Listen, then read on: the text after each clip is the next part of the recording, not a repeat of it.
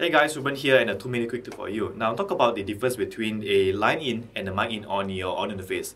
So a line in is basically for line level signals and uh, things like that are like CD players or even turntables which have a line out in them. So basically what you do is if you want to record those things up, you line out from them into the line inputs of your audio interface. And the reason for that is because line level signals carries a much higher level of signal and it does not need any sort of amplification for it to work. Now we have a mic input on your audio interface and mic inputs are obviously for microphones. Now the problem with that is microphones carries a much lower level of signal and they need a preamp for it to work.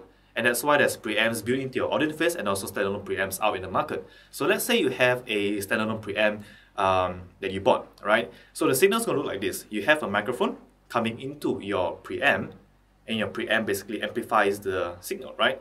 And from your preamp, you line out into the line-ins of your audio interface. And that's because your preamp has already amplified the signal. So you only have to line out the signal into your line-ins of your audio interface.